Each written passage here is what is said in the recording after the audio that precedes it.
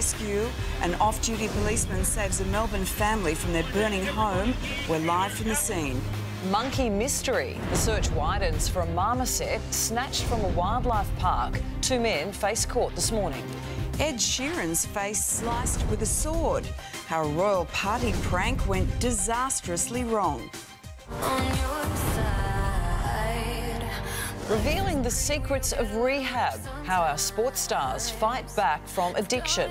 It's a Today Show exclusive. Singer, actor, and all-round superstar Dannii Minogue is live on the show with a very special announcement.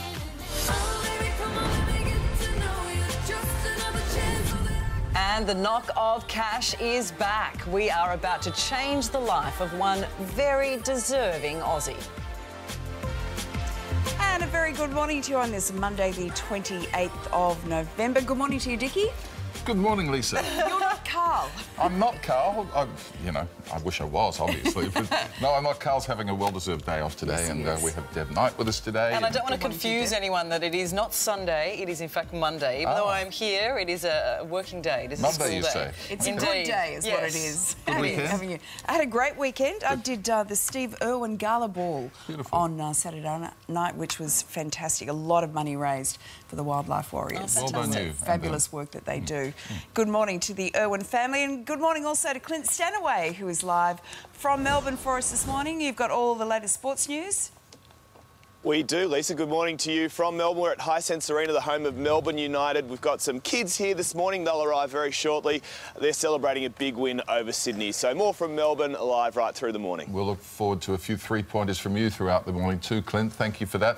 Let's get a update on all the latest news, Deb. Let's do that, Dickie. Thank you. We begin in Melbourne, where an off duty police officer has become a neighbourhood hero overnight after saving an Essendon family from their burning home.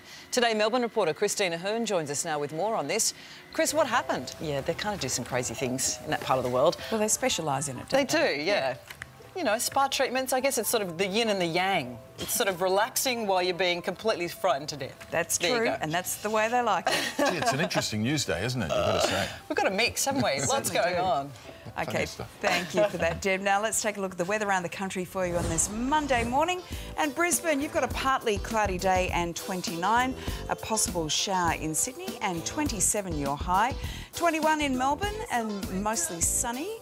Adelaide, mostly sunny as well and 29. Perth, sunny and 29. And Darwin, a shower two, possible storm and 33 degrees. A gorgeous day in this fair country of ours, and it's a big day in sport as well. Let's get the very latest from Clint, who's looking very athletic for us this morning. Good morning, Clint.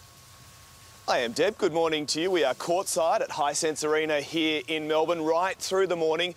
Now, ask anyone here in this fine city of Melbourne, they'll tell you a win over Sydney is worth celebrating. Of course, that happened on Saturday night, so celebrate they will. Plenty of sport coming up right through the morning. Skipper Steve Smith names the players behind Australia's rise out of the cricket crisis.